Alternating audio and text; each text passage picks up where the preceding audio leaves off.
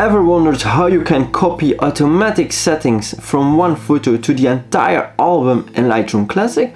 Well, in this video I am going to show you how to do that exactly. And I'm not talking about copying the exact settings from one photo to another. No, I'm talking about applying automatic adjustments to every single photo in your album. Welcome to the next episode of Shutter Secrets.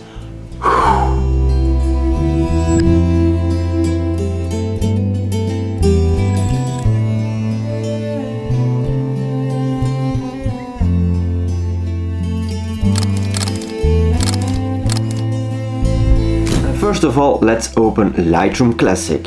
All you need to do after your photo shoot, select all the photos in your album you want to apply the automatic settings to by hitting Command A or Control A on your keyboard. Next, you will see in the lower right corner this button with synchronized settings and this has this little tick box over there as well. Flip that button up so that it will automatically synchronize all settings. And then all you need to do is here auto adjust all settings. And from there you already have automatically applied setting to all your photos. That being said i really hope this video was helpful. If you did like it please consider hitting that like button. If you didn't already hit that subscribe button.